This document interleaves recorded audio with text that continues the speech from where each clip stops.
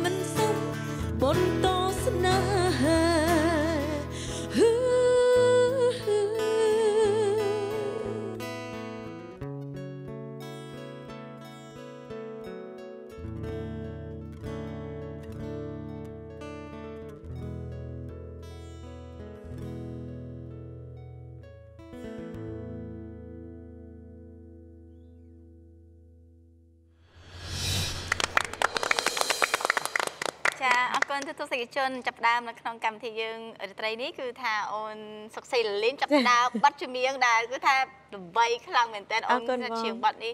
គ្រប់ស្ទើរតែគ្រប់កម្មវិធីទាំងអស់ដែលចា៎ខ្ញុំគាត់សុំសំណូមពរចា៎បងក្រៅចា៎នេះ out យ៉ាក្រោយមីអើចាចាហើយប័ណ្ណហ្នឹងចង់ដឹងថាអូនចាប់ផ្ដើមសម្រាប់ចិត្តថា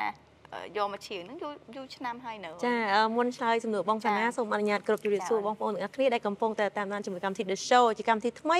អឺរបស់អឺទូរទស្សន៍របស់យើងហើយចាអឺក្នុងថ្ងៃនេះនាងខ្ញុំរើសរើសអឺជ្រើសរើសយកបទចម្រៀង Cry Me Out ដែលជាបទដំបូងរបស់នាងខ្ញុំដែលឈានចូលក្នុងប្រតិកម្មរដ្ឋស្វ័យហង្សមាសចាអឺបទចម្រៀងនោះអឺបើគិតទៅអឺមានកំណើតនៅឆ្នាំ2013ដែលនាងខ្ញុំឈានជើងចូលរដ្ឋស្វ័យហង្សមាសតែតាមពិតបទចម្រៀងនោះគឺជាបទចម្រៀងដែលអឺ ជារបស់បរទេសទេពីព្រោះជំនាន់ហ្នឹងយើងក៏រៀបចំឲ្យមានអឺការនិពន្ធបទភ្លេងដែរប៉ុន្តែវាអត់សូវទូលំទូលាយអញ្ចឹងយើងជ្រើសរើសយកបទចម្រៀងដែលពីបរទេសមកហើយយើងមកសម្រួលតន្ត្រីហើយប្រែសម្រួលច្រៀងអឺដល់នាងខ្ញុំដល់យើងច្រៀងមានខ្មែរខ្លះមានអង់គ្លេសខ្លះអញ្ចឹងទៅហើយក៏ទទួលការគ្រប់គ្រងពីព្រោះ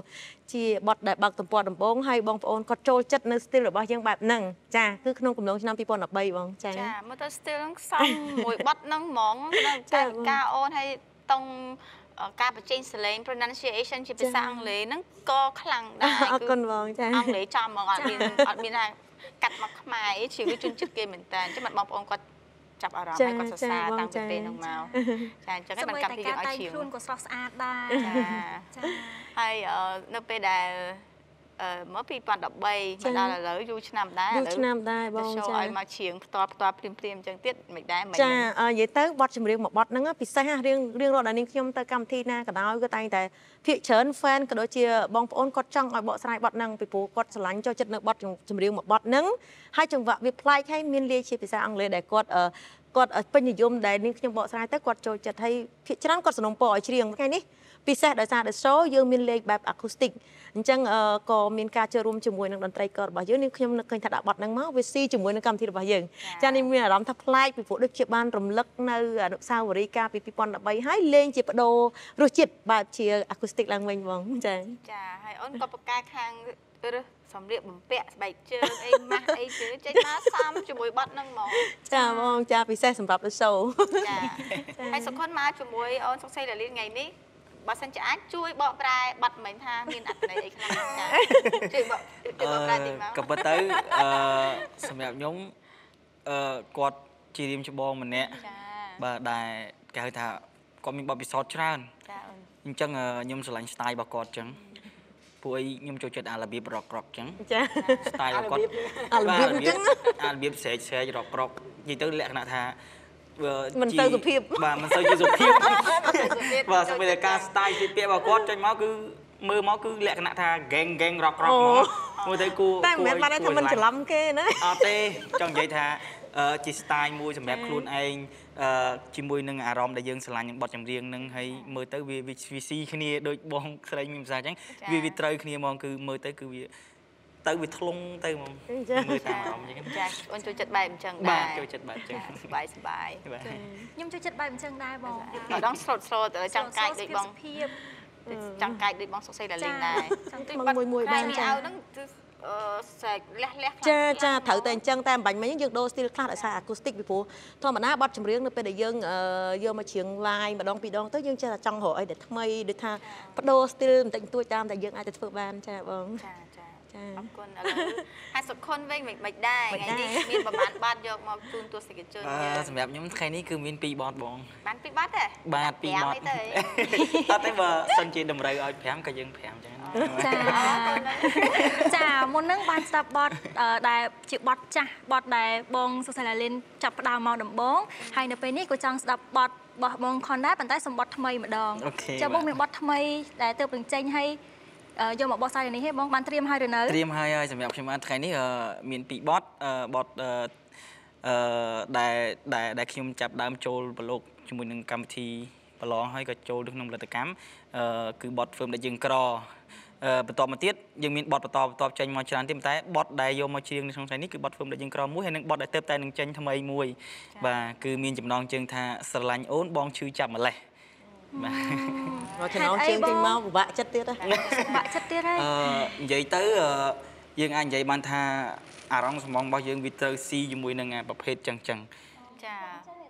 បើយើងគិតទៅជីវិតទំនងខំឈឺចាប់ហ្មងអ្នកខូចចិត្តហ្មងជីវិតយុវវ័យគ្មានអ្នកណាថាមិនឆ្លងកាត់ការឈឺចាប់ទេគឺតតែយើងទេទៀតណាបាទអត់ទេបងអឺតតែយើងអឺអឺ លក្ខណៈថាយើងឈប់ឈឺចាប់តយើងមានដៃគូដែលប្រកបវិជ្ជាអឺរៀបការមួយគ្នាអញ្ចឹងយើងយើងលែងឈឺចាប់ហើយចុះឥឡូវនៅឈឺដែរអត់ទេលែងឈឺហើយអូចឹងមកក្រាប់ឈឺធ្លាប់ឈឺពីមុនមកបើតែឥឡូវលែងឈឺហើយអឺតយើងមានគ្រួសារអញ្ចឹងទៅយើងលែងឈឺចាប់ហើយបើថាយើងនៅតែខ្លួនមួយទេគឺយើងនៅតែតែតោលគ្មានទេបងខ្លួនមួយក៏គ្មានឈឺដល់ថ្នាក់ហ្នឹងដែរទេអឺអឺធម្មតាអឺតែយើងនិយាយអាកាត់ឲ្យដាច់ទៅមនុស្សស្រីនិងមនុស្សប្រុសខុសគ្នាបាទអឺអឺ មួយទីស្រីមួយប្រុសបាមួយទប្រុសយើងយើងយើងប្រុសយើងទៅស្រឡាញ់គេឧទាហរណ៍ថាយើងសុំគេស្រឡាញ់អញ្ចឹងអូគេស្រឡាញ់យើងយើងអរណាគេចុះបើគេថាគេបកកាយគេអត់ទេគេអត់អត់អត់ព្រមទទួលយកយើងអាហ្នឹងយើងវាឈឺចាប់អាត្រង់ហ្នឹងជំនាញអីខុសគ្នាបើខាងស្រីទៅសារភាពហើយខាងប្រុសអត់ស្រឡាញ់ក៏ខាងស្រីឈឺចាប់ដែរឥឡូវមានអីខុសគ្នាអត់ទេអឺភាគតិចដែលដែលមនុស្សស្រីអឺគាត់មកសារភាពអញ្ចឹងវាអត់មានមកនិយាយទៅវាអត់មានមានដែរមានតិចដែរបាទមានដែរបងណាគ្នាមានដែរនិយាយភ័យដែរព្រោះស្រីដល់3នាក់កាត់គ្នាតែម្នាក់បាទយើងប្រុសម្នាក់ឯងអញ្ចឹងជាងព្រោះហើយក៏ផ្លែងស្ងួតអត់ចាញ់បង្គ្រឿនហ្មងនេះអរគុណបងចាឥឡូវឲ្យជ្រៀងសិនចាំតិចទៀតសួរឯណានៃហ្មង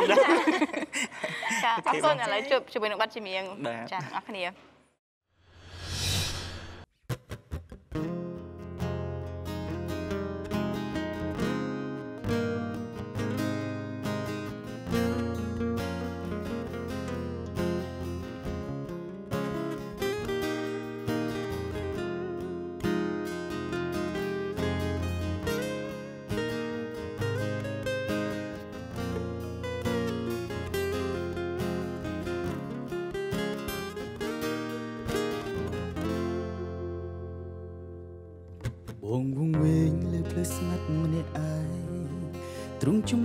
ស្វែងរកពុំងាអូនធ្លាប់បានស្នេហាថានឹងកាន់ដៃគ្នាលុះដល់គ្រាពេលចុងក្រោយអូនដឹងហើយបងស្រឡាញ់អូននឹងមិនដេចបដូរផ្លាំងឲ្យបងរស់តែតោក្នុងរាត្រីសែនស្ងាត់បងស្កាត់រោគនីមូលមិនដេចអូនទុកបងចោលយូរយ៉ាងនេះ ចាប់ណាស់ស្រឡាញ់អូនបងសែនខូចចិត្តណាស់ពីជាច្រើនបងមិនតន់រៀបរាប់អស់ស្នេហ៍ស្ម័គ្រស្មោះប្រែទៅជាអស់សង្ឃឹមស្រឡាញ់អូនបងសែនឈឺចាប់ណាស់ស្រឡាញ់អូនបងអភៀមញញឹមអូនជ្រើសគេចោលបងឲ្យរស់រងទុកធំសែនសោកសៅធុញថប់អារម្មណ៍ស្រក់ទឹកភ្នែក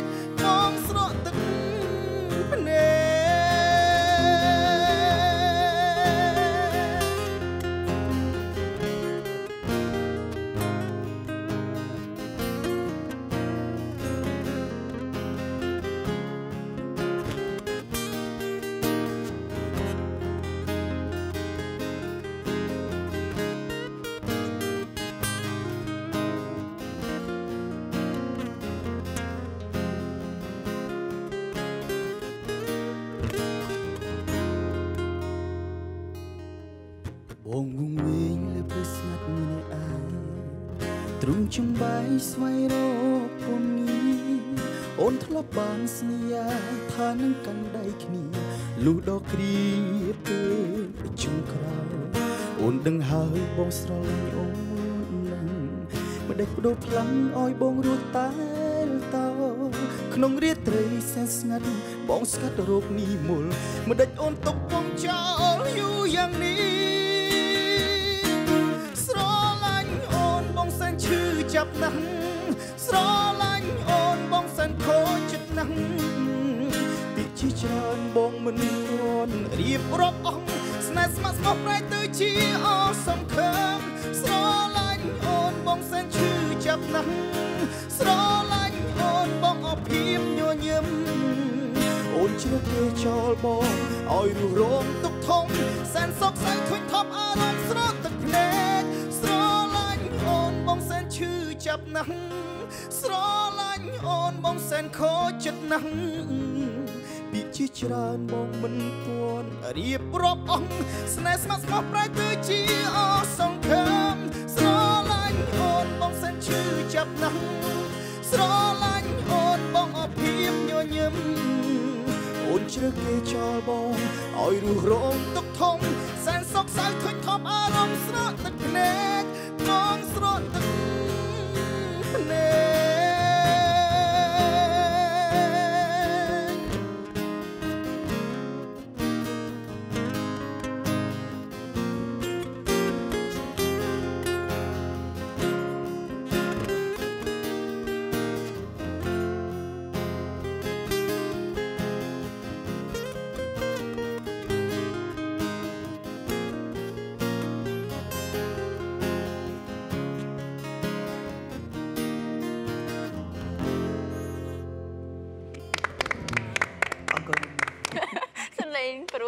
មែនតែនេះថាព្រោះសើចចេញមកស្រឡាដឹងប់ថាឈឺមែនណាឈឺអូមកទឹកមុខក៏ដឹងដែរបងគេអត់ស្បៃអត់ទេសរសើរសខុនអឺអរគុណជាជាចា៎ជាអឺពន្លកក្រោយទេប៉ុន្តែសមត្ថភាពគាត់ខ្ពស់ព្រោះខ្ញុំនាងខ្ញុំបានតាមដានតាំងពីពេលគាត់ប្រឡងណាហើយដល់ទៅពេលឥឡូវនេះគាត់ខ្លាយជាតារាចម្រៀងហើយបងប្អូនស្គាល់ច្រើនបទចម្រៀងគាត់មានការចាប់អារម្មណ៍ច្រើនជាពិសេសម្ចាស់ខ្លួនតែម្ដងបានន័យថាយើងមើលមុខមិនសមណាស់ថាស្រែកខ្ពស់បានប៉ុណ្ណឹងណា ដូចសុភាពសំតាស្រីមុខសមតែស្គាល់ដល់នេះគាត់យំលះអូលះគាត់ចាចឹងថាមនុស្សគេគេមិនឲ្យមើលសបកក្រៅទេតាមពិតមកពេលឃើញមុខគាត់ស្មើស្មើអញ្ចឹងថា message មកអូអរមែនតើចឹងតែបាត់គេមានប្រពន្ធ យើងសំដែងយើងសំដែងជាមានយើងប្រពន្ធយើចាងយើងអ្នកសិល្បៈយើងត្រូវចេះសំដែងចាយើងសំដែងអរគុណឥឡូវនិយាយពីរឿងបាត់បាច់មិញគឺបាទបងអឺមានបងប្អូនគាត់ថាគាំទ្រគាត់ស្រឡាញ់ហើយគាត់ចាប់ដើមទៅសើថាសលេងបានការស្រ័យការអីចឹងបងមិនមែនជាអ្នកចម្រៀងទេប៉ុន្តែបាទបងជា fan អូខេបងស្ដាប់ទៅបងថាពិតជាសមជាអ្នកចម្រៀងអាជីពមែនអរគុណបចាងហើយដល់ពេលអូនចាប់ផ្ដើមជាងបាត់ហ្នឹងពេលហ្នឹង គិតគិតថានឹងបានល្បីខ្លាំងជាមួយបាត់ហ្នឹងទេទេអឺសម្រាប់ខ្ញុំបាទអឺបទចម្រៀងដែលអឺគេរៀបចំមកគឺខ្ញុំអត់ប្រកាសថាវានឹងជោគជ័យទេចាប៉ុន្តែខ្ញុំនឹងព្យាយាមអឺអឺប្រឹងអឺបញ្ចូលមនោចេតនាជាមួយនឹងអារម្មណ៍របស់យើងឲ្យខ្លាំងជាមួយនឹងបទចម្រៀងយើងព្យាយាមធ្វើម៉េចឲ្យវាល្អឲ្យវា perfect ដើម្បីចេញទៅអឺមានការគ្រប់គ្រងច្រើន ពួកអីអឺធម្មតាបទវាមិនល្អទាំងអស់ទេយើងមិនអាចនិយាយថាបទវាល្អទាំងអស់ទេអញ្ចឹងវាមានបទខ្លះអឺបែបផ្សេងបទខ្លះបែបផ្សេងអារម្មណ៍ខុសគ្នាអញ្ចឹងយើងត្រូវបដោតទៅលើបារ៉ូហើយនឹងអឺ melody សម្រាប់ការអឺអឺតាមបទនីមួយៗហ្នឹងដែលគាត់ដាក់មកហ្នឹងយើងធ្វើម៉េចឲ្យវាទៅតាមពេលវេលាអឺតាមអ្វីដែលបទចម្រៀងគេចង់បានចាសំខាន់បាទអរគុណបង អត់ទេកូនទស្សនិកជនសុបបីទៅផងថ្ងៃនេះអឺជួបជាមួយអូនសុខុនសុខុនគឺថាគាត់សម្លេងគាត់ច្រៀងបាត់ខូចចិត្តអីព្រោះទាំងអស់ perfect ដល់អូននិយាយអញ្ចឹងអីចេះអង់គ្លេសទៀតកូនហ្នឹងប៉ុន្តែមុខគាត់ខ្ញុំឃើញខ្ញុំចេះចង់សើចគាត់ហ្នឹងថាបងប្អូនដូចខ្ញុំដែររត់តាដូចបងអាលីនដូចបងអាខ្ញុំចឹងដែរតែដូចខ្ញុំដែរមើលមុខខ្ញុំមើលមុខបងខ្ញុំនឹងសោកសើច អត់ទេខ្ញុំពីមុនអត់អត់ដែរសង្កេតចឹងឯងពីព្រោះពេលជួបខុនមួយផ្លែតមួយផ្លែតតាមអឺឆាកតន្ត្រីទៅបាទនិយាយគ្នាបានតែបន្តិចប៉ុន្តែដល់ពេលមកអង្គុយនៅ talk show ជាមួយគ្នាទៅហើយបងសាណាសួរទៀតខ្ញុំចាប់អារម្មណ៍ចឹងដែរថាមកគួរតំណងសើចមកបោកហើយបោកមួយហើយចា3បោក1ថ្ងៃក្រោយមកពីរនាក់ហើយមើលទៅមកកន្លែងមកកន្លែងបើអត់និយាយអត់បញ្ចេញសលេងគួរឲ្យអាណិត បាទហើយមិនទៀតបងតែដល់ពេលចាប់ដើមនិយាយគួរចង់គួរសើឲ្យចចង់គួរសើចចង់សើចតែខ្ញុំរំដើមចូលសុំបងពាក់មីទៅចូលរួមដែរបានបងតាពាក់មីសុំចូលរួមដែរតែមែនតើចូលចិត្តនិយាយលេងអីអញ្ចឹងហ៎អឺសម្រាប់ខ្ញុំចូលចិត្តធ្វើឲ្យគេសប្បាយណ៎ថាមែនដល់អ្នកផ្ទះអ្នកផ្ទះគាត់អឺភាគច្រើនខ្ញុំទៅក្រៅទៅអីខ្ញុំអត់សូវមាត់អត់សូវអីទេប៉ុន្តែបើនៅផ្ទះគឺភាគច្រើនគឺពេលខ្លះ និយាយអាក្រក់ស្ដាប់ពេលពងញ៉ាំបាយយើងនិយាយលេងសើចតែខ្លះកពុបបាយកពុបអីចឹងណាបាទយើងធ្វើឲ្យគេនិយាយទៅតួកំប្លែងចាំគ្រួចូលសារចិត្តនិយាយធ្វើចេះឲ្យគេសប្បាយបាទអូចូលចិត្តធ្វើឲ្យគេសប្បាយអត់បាទផ្លៃមែនតើអត់អាចឃើញភ្ញៀវណាមកគួរចង់សើចតែសូម្បីតែថូននិយាយរបស់គាត់ក៏ស្ដាប់ទៅគួរឲ្យចង់សោយដែរអញ្ចឹង អត់ទេមួយយ៉ាងដែរអឺសប្តាហ៍នេះបងប្អូនជួបជាមួយតារាចម្រៀងឯងប៉ុន្តែមុខគាត់មើលទៅបែកកំ pl ែងអញ្ចឹងក៏ក៏អាចជាបងប្អូនគាត់បានធូរអារម្មណ៍ដែរបាទអញ្ចឹងណាគ្រឿនអាជីពខ້ອຍបង្គ្រឿនបើថាគាត់ថាគ្រឿនអញ្ចឹងអាជីពវាដែរចាប់អារម្មណ៍ចង់ចូល ដេញកំ pl ាញ់មួយរឿងពីររឿងអីហ៎ណាណាបើអត់មានពេលបងអត់មានពេលអត់ពេលបាទបាទបើបើគេហៅយើងទៅដែរអញ្ចឹងណាហើយកូវីដហ្នឹងអត់ពេលដែរអឺយើងអត់សូវហ៊ានចេញអញ្ចឹងណាខ្លាចអញ្ចឹងណាអូបាទតាមពិតអឺសិល្បករសិល្បករនេះជួនកាលអឺគេហៅថាមានមានអាហ្នឹងពីអំណោយផលពីធម្មជាតិណាដូចថាមុខគាត់អំណោយទៀនអញ្ចឹងបានន័យថារត់តែតាក់ទាញបានបងប្អូនទទួលបានការគ្រប់គ្រងទៀតចា ហើយទេណោយទៀនហ្នឹងមុខគេដាក់ទៀនឲ្យមុខត្រូវបានអំណោយតែមិនបានបាទៀននណោយតាំងកូវីដមកបានអំណោយម្ដងបានហើយបងបានអូដល់ណាបានក្រហមហ្នឹងណាពីបានដបងដបងក្រហមបងបងក្រហមឥឡូវលេងក្រហមឥឡូវលឿងហើយឥឡូវលឿងតិចទៀតសល់លឿងអូអាវអពណ៌អាវគឺបញ្ជាក់ពណ៌តំបន់ណោះអុយគេនេះបានខ្មៅ បានខ្មៅអូតែយើងបច្ចៈយើងចេញទៅណាយើងពាក់លឿងទៅគេសួរតែអូមកពីតំបន់លឿងបាទមកពីតំបន់ខ្មៅអូយជឿអីថានៅផ្ទះប្រកាសជាឲ្យបងប្អូនសើចញ៉ាំបាយញ៉ាំអីមកវិញឆ្លក់គេងាប់ហើយបាទតញយបងតញយចាហើយនៅពេលអូនឯងប្រកែនិយាយអញ្ចឹងឲ្យគេសើចអញ្ចឹងប្រពន្ធអូនឯងស្រឡាញ់អូនឯងខ្លាំងហើយអញ្ចឹងអឺ មកធម្មតាទេប្រពន្ធណាមិនស្រឡាញ់ប្តីបាទបាទប្រពន្ធអត់ស្រឡាញ់ប្តីជិតចប់ប្រពន្ធខ្លះគេស្រឡាញ់ដែរតែអត់ខ្លាំងអញ្ចឹងណាណានេះខ្លាំងតែហ្មងគេជឿជាក់ទេថាខ្លាំងទៅអឺបើយើងនៅមួយគ្នាហងថ្ងៃអញ្ចឹងយើងដឹងបាទចាអរគុណច្រើនឥឡូវនេះបន្ទាប់ពីបានបដូរផ្លាស់អារម្មណ៍ពីសុខុនហើយនាងខ្ញុំក៏មានបទចម្រៀងសម្រាប់អឺជូនចែកជូនបងប្អូននៅក្នុងកម្មវិធី Disto នេះដែលជាបទ ចម្រៀងមួយដែលជាការនិពន្ធសាច់ភ្លេងក៏ដូចជាទំនុក melody ថ្មីតែម្ដងចា គឺអឺដោយលោកកងពិសិដ្ឋ ហើយបងប្អូនក៏ធ្លាប់បានស្គាល់លោកកងពិសិដ្ឋហើយគឺជាតារាចម្រៀងក៏ដូចជាអ្នកកាន់ហ្គីតា solo ដ៏ដ៏ចំណានម្នាក់ឥឡូវនេះដោយសារតែបទចម្រៀងនេះជាបទចម្រៀងសូមរំលឹកបន្តិចពីស្នាដៃរបស់លោកកងពិសិដ្ឋហើយអឺក្នុងបទចម្រៀងនេះមាននាងខ្ញុំចាំដូចជាវល់531នៃផលិតកម្មរស្មីហងមាសអឺកាលហ្នឹងអឺយើងចាប់ផ្ដើមដូចថាសម្រុកខ្លាំងទៅលើបទចម្រៀងផ្នែកនិពន្ធថ្មីអញ្ចឹងលោកកងពិសិដ្ឋក៏រៀបរៀងឡើងដោយមាន2 color កាលហ្នឹងគាត់អឺធ្វើឲ្យនាងខ្ញុំបែបជា R&B ហើយធ្វើឲ្យអឺបងស្រីអោសគុណកញ្ញាបែប rock អញ្ចឹងឥឡូវនេះនាងខ្ញុំនឹងលើកបទចម្រៀងបទដំណក់ទឹកដែលជាស្នាដៃនិពន្ធរបស់លោកកងពិសិដ្ឋអឺចែកជូនបងប្អូនចាអឺរំលឹកអនុស្សាវរីយ៍បន្តិចចាសូមរីករាយដល់តទៅចាអរគុណអូនចា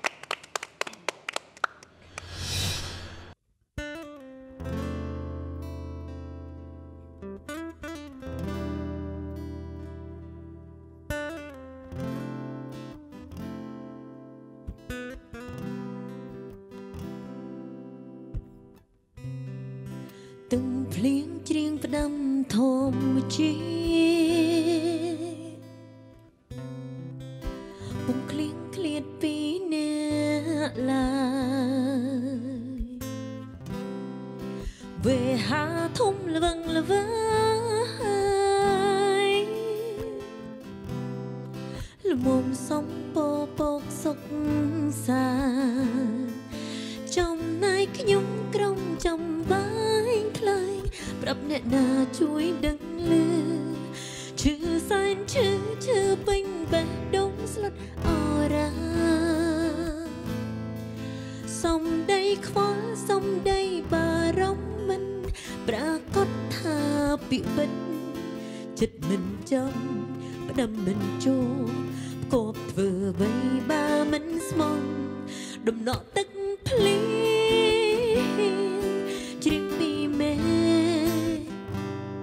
ដំណក់ទឹកភ្នែ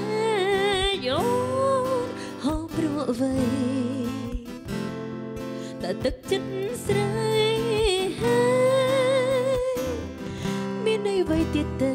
ស្នេហ៍សុំដួងខែថែរូបបងជំនួសស្រីផងនោះឡងស្ងប់ទុកហើយ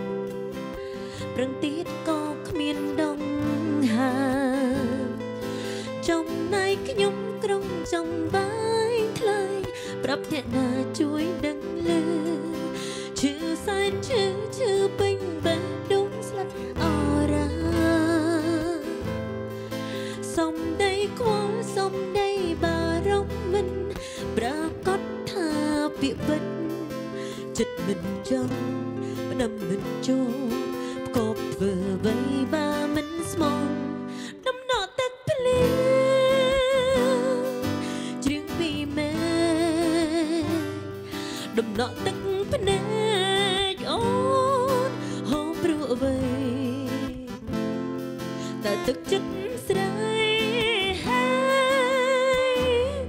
មានន័យអ្វីទៀតទៅស្នេហ៍សូមដួងខែថែរូបបងជុំនោះស្រីផងនោះល្អស្ងប់ទុកហើយ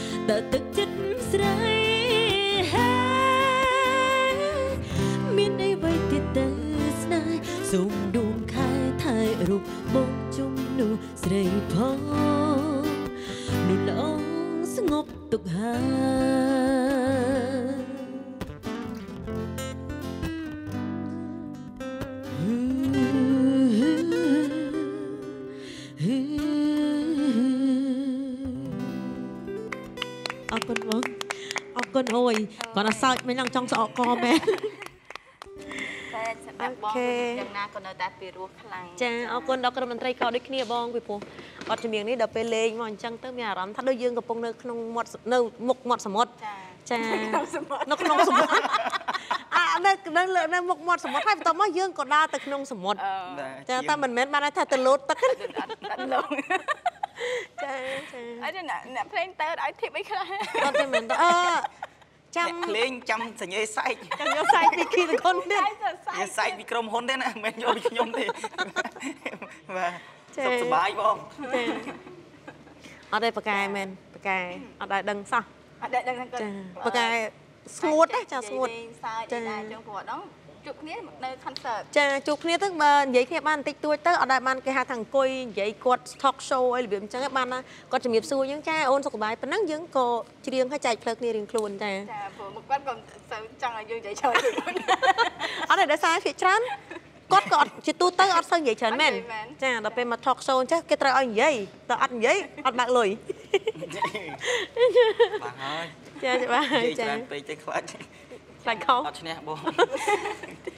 បងគាត់បដាក់ងចង់ស្អកដែរហ្នឹងបំផឹងបំផឹងឥឡូវយើងនិយាយពីបាត់ជំនាញនឹងទៀតចាអឺបទចម្រៀងអំបញ្ញមិញនេះអឺគឺលោកកងពិសិដ្ឋគាត់សម្រិតសម្រាំងទាំង melody ទាំងទំនុកភ្លេងនិង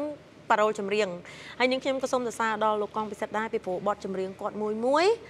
គឺបានន័យថា color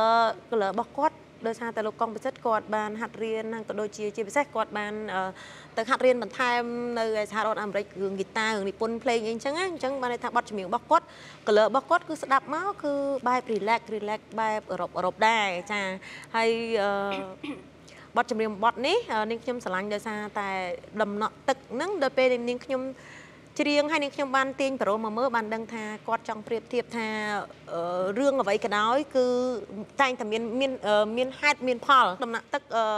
ពាក្យថាដំណក់ទឹកមិនតាមពិតទឹកជាគេហៅថាជាជាវត្ថុដែលជាទៅទីតម្រូវការរបស់មនុស្សក៏ដូចជាសត្វទាំងអស់មិនថារុក្ខជាតិមិនថាអីទាំងអស់ប៉ុន្តែដល់ពេលគាត់ដាក់ដំណក់ទឹកមកបត់នេះគឺមានអារម្មណ៍ថាវាតាក់ទាញជាមួយនឹងអឺអឺដំណក់ទឹកភ្នែករបស់មនុស្សស្រីដែលតែងតែជួបនៅរឿងផិតក្បត់អីចឹងទៅ គឺយើង យើងពេលខ្លះយើងអត់ហ៊ាននិយាយទេតែយើងប្រើភាសាដល់ដំណក់ទឹកភ្នែកវិញចាអញ្ចឹងមកបត់នេះនាងខ្ញុំចូលចិត្តស្រឡាញ់ហើយអឺអឺបើសិនជាស្ដាប់ចង្វាក់ដើមណាគឺគាត់អឺចង្វាក់គាត់លាយរបៀបជា R&B បែបគេហៅថា R&B slow គឺមួយយ៉ាងរបស់គាត់តែដល់ពេលយើងលេងជា acoustic អញ្ចេះវាមួយយ៉ាងទៅទៀតចាដូចនាងខ្ញុំប្រាប់បងអញ្ចឹងតែដូចមានអារម្មណ៍ថាយើងនៅមុខមាត់សមុទ្រកំពុងតែជួបគ្នានិយាយចែកគ្នាហើយមកស្ទុះដើរចូលក្នុងសមុទ្រតែឯងអញ្ចឹងអត់អត់ឡើងមកវិញអត់ឡើងមកវិញបាត់ បាត់ខ្លួនអីអញ្ចឹងឈឺចិត្តពេកចាចាំតែសាអញគេអត់ឡើងមកវិញសង្ឃទៅមកវិញយើងអត់សូវអីទៅអត់មកវិញទៅតែអីឆ្លេងបាក់ដល់ញ៉ាធរទៀតណាស្ដាញ់ញ៉ាថោចាទៀតបាត់បន្ថយទៀតអ្នកដែលគេហៅថាអេអូអូចង់និយាយឧទាហរណ៍ឧទាហរណ៍ទេបងមកអត់ទេមិនចង់បាត់បងទេបាទឧទាហរណ៍ថាឧទាហរណ៍ថាទៅទៅអត់មកវិញអញ្ចឹងណាអេអត់អត់និយាយអូអត់បានទេជើងបាត់ហ្នឹងឲ្យបានឯថាម៉េចហ្នឹងបងចង់និយាយថាចា ពីព្រោះជាទូទៅពេលដែលខ្ញុំទៅលេងនៅអឺមាត់សមុទ្រអីអញ្ចឹងប្រហែល4នាក់អញ្ចឹងយើងជជែកគ្នាយប់ឡើងអញ្ចឹងយើងអឺមានញ៉ាំអីជុំគ្នាជួនកាលបើមានភ្លៀងធ្លាក់តិចតិចខ្ញុំមកចូលចិត្តអឺមុជទឹកភ្លៀងនៅសមុទ្រពេលពេលភ្លៀងទៀតហើយជួនកាលទៅទៅបាត់មកស្ទុះកុំអីទៅបាត់មកស្ទុះដូចចឹងប៉ុន្តែបងមកវិញពីព្រោះជួនកាលអ្នកអ្នកខ្លះគេខ្លាចអត់ហ៊ានមុជទឹកសមុទ្រពេលយប់តែនាងខ្ញុំចូលចិត្តអញ្ចឹងទៅមកស្ទុះបាត់យូរអញ្ចឹង ហើយបានមកវិញចាមិនមែនទៅអត់មកដូចខុនទេហេតុអីបងភ្លៀងតិចតិចហ្នឹងទឹកសមុទ្រពេលយប់វិញអឺបងមានអារម្មណ៍ថាវាត្រជាក់ស្រួលហើយមួយទៀតអឺបានន័យថាអឺវាស្ងប់ស្ងាត់ហើយយើងអាចស្ដាប់សំអឺសំឡេងរលកសមុទ្រទៅអឺរួមជាមួយនឹងបទចម្រៀងអីបងប្អូនមិត្តភក្តិយើងចាក់អញ្ចឹងណាប៉ុន្តែឲ្យតែនាងខ្ញុំអឺដើរចូលក្នុងសមុទ្រពេលយប់អីចឹងល្ងិតល្ងិតស្ងាត់ទៅគេផ្អើលហ่ะមិត្តភក្តិឲ្យផ្អើលគាត់ខ្លាចវាមានគ្រោះថ្នាក់ចាដូចខុនទេខ្លាចមកវិញខ្លាចអត់មកវិញខ្លាចបបាក់ដល់អាញាធំ ប៉ុន្តែអត់ឃើញទេចាប៉ុន្តែអត់អីទេគ្រាន់តែថាយើងអឺយើងទៅលេងឲ្យរៀងរាក់រាក់ដែរទេដល់ហើយយើងត្រឡប់មកវិញទៅតែគ្រាន់តែថាពេលយប់អញ្ចឹងយើងចេះខ្លាចអញ្ចឹងណាយើងទៅពីរនាក់អីទៅគាត់ទាញដៃគ្នាកុំម្នាក់ឯងគាត់ទាញដៃអត់គ្នាទេឡើងតែម្នាក់វិញឯងអត់ទេនិយាយមែនតែម្នាក់ឯងលោកវាយមកអាចវាអត់មានអីតោងអត់មានអីហើយវាជិះពីរនាក់ចាំមកវាយទៅទាំងពីរមិនអចឹងត់ទេពីរនាក់យើងបានទាញគ្នាទៅជន់មួយបលិចទៅសល់មួយទៅមួយទៅ នឹងនឹងអ្នកណាជួយនឹងជន់ទៅជន់ផលិតដល់ហ្នឹងអីចិត្តធ្វើមិនបើអូប្រឹងរស់ខ្លួនរៀងដែរខ្លួនប្រឹងរស់រៀងខ្លួនអញ្ចឹងមិនតាមតាណាណែចាចាដល់ពេលបងប្អូនស្ដាប់អឺអូននិយាយអញ្ចឹងទៅក៏បង្ហាញថាអូនមានមនោសញ្ចេតនាចាបងអឺជ្រាលជ្រៅអឺ ចាស្វីតខ្លាំងហើយតាមតាមការនិយាយរបស់អូនណាចាអញ្ចឹងបើបរោះបរោះថាស្រឡាញ់គឺអត់ខុសទេអូយ៉ាត្រូវទៅហ្មងហើយវាអូនក៏ប៉ុន្តែចឹងដែរគាត់ខ្ញុំចាប់ចំណុចបានមួយចាគាត់ថាចាប់គាត់បងអត់ដែរខូចចិត្តទេអត់ដែរទេដែលឲ្យពេលច្រៀងមកចម្រៀងមកដល់ក៏អត់ទេកំមនុស្សសត់យើងហួសជាជាទូទៅបើប្រាប់បងប្រាប់ថាបងមិនដែរខុសចិត្តអត់ណាជឿអជឿត់ដែរជឿល្មិច ចាមនុស្សតែនៅគ្រាន់លាតែវថាចឹងតែគ្រាន់តែថានឹងចេះតែខូចចិត្តហ្នឹងឯងធម្មតាមនុស្សយើងមិនថាមិនថាមនុស្សនៅលាវឬមនុស្សមានគ្រួសារតែយើងជួបបញ្ហាអីមួយរាំងស្ទះអីមួយឬក៏មនុស្សយើងតែងតែអ្នកខ្លះនិយាយចេះទៀតហ៎បងថាអ្នកសិល្បៈមើលទៅសុបាយណាច្រៀងរំច្រៀងរំទៅរហូតអត់មានទុកអីសោះតែតាមពិតអឺវាតែងតែមានឯងកើតមកជាមនុស្សមានរូបមានទុកហើយតែគ្រាន់តែបើសិនជាយើងឡើងមកលើអឺគេហៅថាឆាកនៃតន្ត្រីយើងមានទូនាទីធ្វើឲ្យបងប្អូនសុបាយចិត្តចាដូចខុនអញ្ចឹងណា យើងមើលទៅមុខគាត់ថាឃើញមុខគាត់គួរសមបាក់ចិត្តហ្មងណាតែដល់ពេលបានគាត់និយាយមកគឺបងប្អូននឹងថាអូកូននឹងគាត់ប្រកែកចេះមុខគាត់មែនតែដល់ពេលកញ្ញាសាណាថាអញ្ចឹងទៅអូអ្នកកញ្ញាសាណាយ៉ាអូយបងសប្បាយអញ្ចឹងតែយើងក្មេងបន្តិចអត់ទេបងសាណាខ្ញុំស្គាល់គាត់យូរក្មេណាងប៉ុន្តែយើងចង់និយាយថាឲ្យគាត់នៅយើងឥឡូវគាត់នៅតែក្មេងខ្ណាចីស់លផក់អញ្ចឹងចាជឿហ៎បងបងស្គាល់បងសាណាតាំងពីបងសាណាគាត់នៅជាកញ្ញាបាទចា ហើយឥឡូវហ្នឹងគាត់មានឥឡូវ baby គាត់ហើយមានគ្រួសារអញ្ចឹងអូកញ្ញាទូបាត់សួរវិញមែនសួរវិញហើយចុះអត់មក Facebook ទេអត់មាន friend ទេឡើយអត់មាន friend ចាចង់ចង់និយាយថាស្គាល់បងសាណាយូរហើយគាត់អត់ប្រែប្រួលទេទាំងរូបរាងទាំងសម្រស់ជាពិសេសវោហារស័ព្ទរបស់គាត់តែអាទិត្យនេះប្លែកពីព្រោះរដងជួបគាត់សើចតិចតែគេនោះសើចច្រើនសាច់ច្រើនចាអត់ទេមកពីយើង បានអឺសមាជិកថ្មីបាទមន់ថ្មីមន់មន់ថ្មីទៀតណាកូនហ្នឹងមន់ព្រៃទៀតនេះមិនព្រងស្ងោជ្រូកឥឡូវមកចាអរគុណច្រើនបងហើយបកមកបងបាទខុនវិញចាបាទសូមមកបត់ទៀតមកបងតែខ្លាចដៃខ្លាចហើយមកគេថាដៃខ្លាចតែខ្លាចហ៎យើងជំនឿថាយើងព្រមចាស្គាល់ឈ្មោះពេញឈ្មោះជីចិត្តអីគេឈ្មោះឈ្មោះពេញហ្មឈ្ងមោះពេញរបស់ខ្ញុំខីសុកខុនខីគីសុកខុនសុក ខុនខុនបាទចាមិនដែរសួរពុកម៉ែមិនមិនគាត់ដាក់ឈ្មោះនឹងឲ្យអត់សួរដែរសួរគាត់ហងចា៎តែគាត់ដាក់ឈ្មោះចឹងជួនមួយឈ្មោះរបស់ឪពុកអឺសម្រាប់បទបន្ទាប់នេះគឺបទអឺដែលខ្ញុំបាទអឺសម្រាប់ថាមានការគ្រប់គ្រងគេស្គាល់ច្រើនបាទគេស្គាល់ច្រើនគឺបទធ្វើម្ដេចយើងក្របាទដែលដកជាប់ក្នុងអារម្មណ៍ពុកម៉ែបងប្អូនរហូតមកដល់តទៅពេលឥឡូវនេះគឺគាត់នៅតែចូលចិត្តស្រឡាញ់មានការអឺស្គាំទ្រដូចជាសំណុំពរច្រើនបាទធ្វើម្ដេចយើងក្រយើងក្របាទតែ ស្នេហាបានត្រឹមស្នេហាគ្រប់យ៉ាងគេបំភ្លេចអងហើយលុយធ្វើឲ្យមនុស្សខ្ញុំស្រឡាញ់ក្បត់ខ្ញុំពេលកន្លងអូននឿយហើយបងគ្មានឡើយទ្របគប់ចិត្តស្រី មិនដូចអ្នកថ្មី គេមានគ្រប់យ៉ាងអើយអូលួចញញឹមលាយទឹកភ្នែកយំសឹកសួលជូនពូមីស្មក្តីសុខអូនក៏ដូចជាក្តីសុខបងធ្វើមិនដេចយើងក្រមិន ហ៊ានសូមបីឈរក្បែរគេគ្មានលទ្ធភាពទេគួខ្មាស់ខ្លួនអើកម្មចិត្តទៅ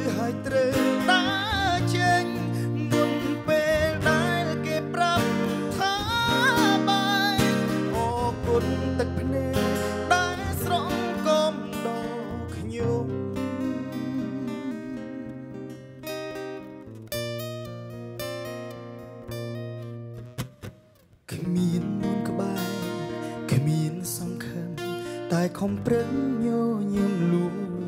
ចិត្តតែការពិតក្នុងបេះដូងស្ទើរបែកធ្លាយមនុស្សធ្លាប់ក្បែរមនុស្សធ្លាប់ស្និទ្ធពេលនេះគេ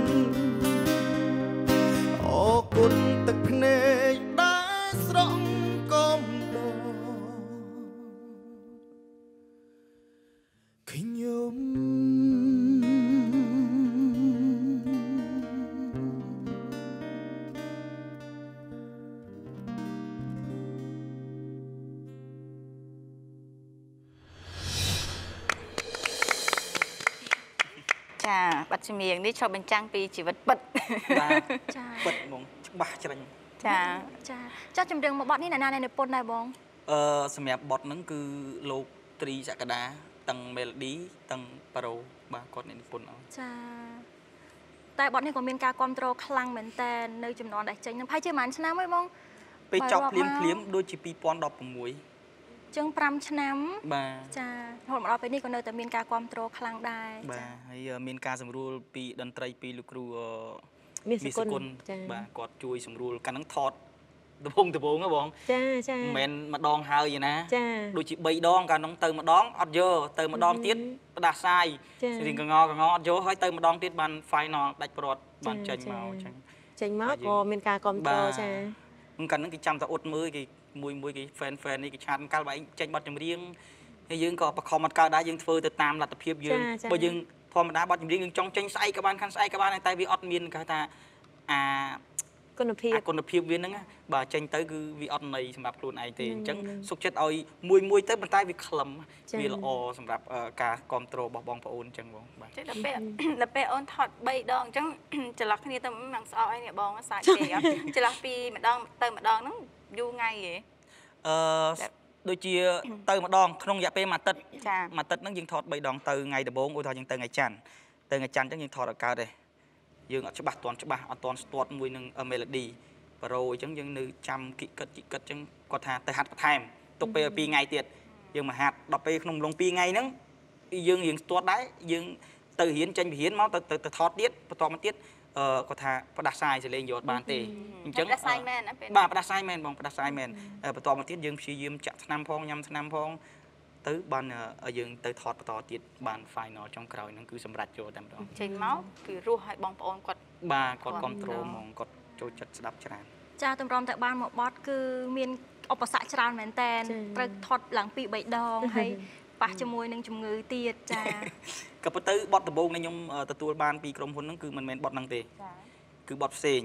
ប៉ុន្តែខ្ញុំគិតថាបទហ្នឹងគឺអត់ត្រូវមួយខ្ញុំទេហើយខ្ញុំក៏តាក់ទងជាមួយនឹងអ្នកនិពន្ធផ្ទាល់គឺលោកត្រីសក្តាហ្នឹងចាហើយខ្ញុំក៏ប្រាប់គាត់ថាបងសាច់រឿងរបស់ខ្ញុំផ្ទាល់គឺបែបនេះ គឺខ្ញុំក្របាទគឺសាច់រឿងរបស់ខ្ញុំផ្ទាល់គឺខ្ញុំក្រអញ្ចឹងបងជួយអឺអឺអឺជួយអឺសរសេរតាមអ្វីដែលខ្ញុំអឺផ្ដល់ឲ្យបងអឺពីសាច់រឿងរបស់ខ្ញុំជីវិតពិតរបស់ខ្ញុំកាលពីខ្ញុំនៅជាក្មេងអឺក៏ក្រខ្សត់នៅនៅស្រុកនៅអីចឹងណាបងយើងប្រាប់គាត់ពីដំណាក់កាលនីមួយៗទៅគាត់ក៏អូខេមួយយើងហើយបន្ទាប់មកក៏ចេញជារូបរាងបទចម្រៀងនឹងមកតែម្ដងបាទចាពេលខ្លះអូនខ្លួនឯងក៏ក៏ដឹងថាដាក់អញ្ចឹងទៅ តាក់ទាញអ្នកស្ដាប់បាទយើងបាទហើយបាទគាត់អាចព្រោះអីទាំងមើលទៅស្រឡាញ់ទាំងអាណិតយើងទៀតបាទបាទបាទចាអរគុណច្រើនចាសម្រាប់កម្មវិធីរបស់យើងថ្ងៃនេះគឺទស្សនិកជនចាបានស្ដាប់បទចម្រៀងដែលតារាគ្រូជួយទាំងពីរដួងបានបកស្រាយហើយក៏បានដឹងពីរឿងពិតអឺខ្លះខ្លះៗទាំងកំសត់ទាំងសវាយទាំងអត្តចរិតចាដែលគួរឲ្យស្រឡាញ់របស់អ្នកទាំងពីរហើយអឺចុងក្រោយនេះគឺអឺចង់ឲ្យបងអូនចាចា៎លីនក៏ដូចជាសុខុនបាទจะមានអ្វី ចង់និយាយទៅកាន់ពុកម៉ែបងប្អូនយើងដែលតែងតែស្រឡាញ់គ្រប់គ្រងបងប្អូនទាំងពីរចាសូមអញ្ជើញអរគុណអឺសម្រាប់នាងខ្ញុំអរគុណដល់កម្មវិធី The Show ដែលបានផ្ដល់កិត្តិយសដល់នាងខ្ញុំបកស្រាយនៅបទចម្រៀងដែលជាអនុស្សាវរីយ៍ចាស់ចាស់ៗជាមួយនឹងការបកកែប្រែផ្សាច់ទិញថ្មីហើយក៏អរគុណដល់ បងប្អូនទាំងអស់គ្នាដែលតែងតែគ្រប់គ្រងនាងខ្ញុំកន្លងមកតាំងពីនាងខ្ញុំឈានជើងចូលវិស័យសិល្បៈ10ឆ្នាំជាងហើយចា10ឆ្នាំ5 10 6 10ឆ្នាំហើយហើយមកទល់ពេលនេះគាត់នៅតែបន្តការគ្រប់គ្រងសូមអរគុណដល់បងប្អូនមែនទែនជូនពរឲ្យអឺបងប្អូនមានសុខភាពល្អហើយមួយទៀតក៏សូមជូនពរឲ្យកិច្ចផុតពី COVID-19 ហើយក៏មិនភ្លេចដែរនៅអរគុណដល់ស្ថានីយ៍ទូរទស្សន៍ក៏ដូចជាបងសាណាអរគុណនិងក្រុមការងារទាំងអស់ចា៎ពីព្រោះតែងតែផ្ដល់ភាពកក់ក្ដៅដល់ក្រុមអឺតារាចឹងក៏ដូចជាភ្ញៀវដែលមកដូចមកលេងផ្ទះចឹងចាចា៎គឺផ្ដល់ភាពងាយស្រួលនិងការប្រស័យទាក់ទងល្អចាហើយអឺមួយទៀតក៏សូមផ្ដាំផ្ញើបងប្អូនទាំងអស់គ្នាឲ្យគោរពច្បាប់ចរាចរណ៍ផងដែរចាអរគុណចាអរគុណអូនចាសុខុនបាទអរគុណសម្រាប់ខ្ញុំបាទក៏សូមអរគុណដល់ពុកម៉ែបងប្អូនទាំងគ្នាដែលគ្រប់គ្រងខ្ញុំបាទអឺពេលដែលខ្ញុំមកចូលជាអ្នកសិល្បៈអញ្ចឹងណាចា៎អឺអរគុណមែនទែនសម្រាប់ការគ្រប់គ្រងនៅបទចម្រៀងរបស់ខ្ញុំបាទនីមួយៗហើយក៏សូមអឺជូនពរពុកម៉ែបងប្អូនទាំងគ្នាដែលសម្រាប់ព្យាបាលហើយជួយឆាប់ជាពីជំងឺឆាប់បានត្រឡប់មកផ្ទះវិញហើយក៏កុំភ្លេចបាទ បាទ3កុំ3ការពារបាទដើម្បីអឺសុវត្ថិភាពខ្លួនឯងក៏ដូចជាក្រុមគ្រួសារអឺដើម្បីឲ្យប្រទេសជាតិយើងនឹងបានឆាប់ ឆាប់គេហៅថាលែងមានអាកូវីដនឹងទៀតឲ្យវាវាសบายរីករាយដូចមុនអញ្ចឹងណា ចា៎ ជួបចង់ទៅណាស្រេចតែចិត្តអត់មានខ្វាយខ្វល់ អត់មានគេហៅថាបារម្ភភ័យ ចា៎ ព្រួយតែខ្លាចឆ្លងខ្លាចអីអញ្ចឹងណាហើយសូមអរគុណដល់បងស្រី